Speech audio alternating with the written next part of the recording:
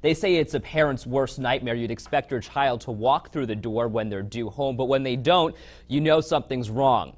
Jill and Dan Harrington have kept a level head for the past week and a half, and as they search for their daughter Morgan, they're speaking to us in an interview you'll see only on 3.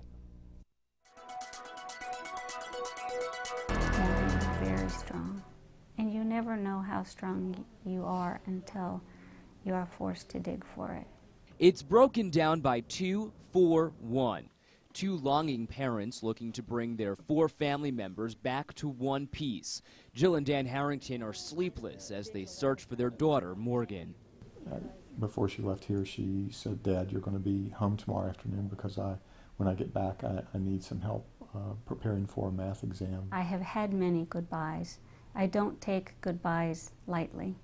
I always walk her to the car, and she gets in the car, and as she's pulling out, she's always flashing those fingers at me, two, four, one. In fact, that was the last thing she said to it me. was the last thing she said to me when she left, because that's just our little, you know, your little code. I love you too much forever and once more than forever. Morgan's described as a free spirit, eccentric and energetic, with posters of Black Sabbath and the Beatles hanging in her room.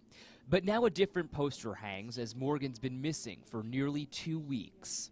This is our two, four, one that Morgan sent to me. Now two have become one, supporting each other through tough times, pleading with the public to help find their baby. You want your children to fly and to go to Metallica concerts and enjoy everything that's great about this world. With too much love forever, Jill has one message for Morgan. Be strong.